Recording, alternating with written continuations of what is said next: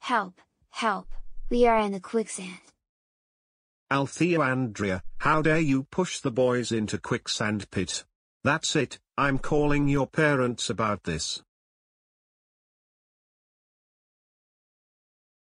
Althea Andrea.